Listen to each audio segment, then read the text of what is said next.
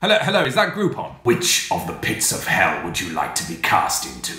I've been trying to unsubscribe all morning. Well, yes, I've pressed the unsubscribe button. No, I've done, I've done all this. I've been, I've done, I've done this like seven times. Well, yes, it says deals in your area, but these are all clearly Chester. No, I mean, I mean hell. I live in hell.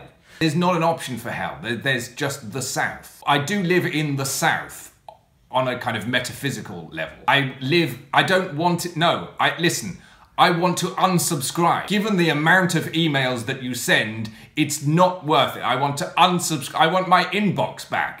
I, wa- I want my inbox back.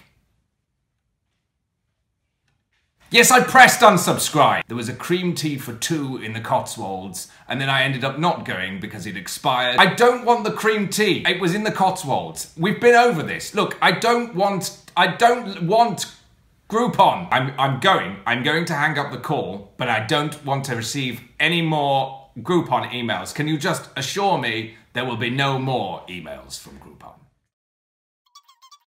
I'm the devil. I don't do surveys. That's the end of that video. That's the end. We hope you enjoyed that. And watch more videos. Watch more or videos. Even better, subscribe to the channel Subscribe to the channel. so you can watch all the videos. Watch all the videos. There will be more. There will be more. Do I look hot in this?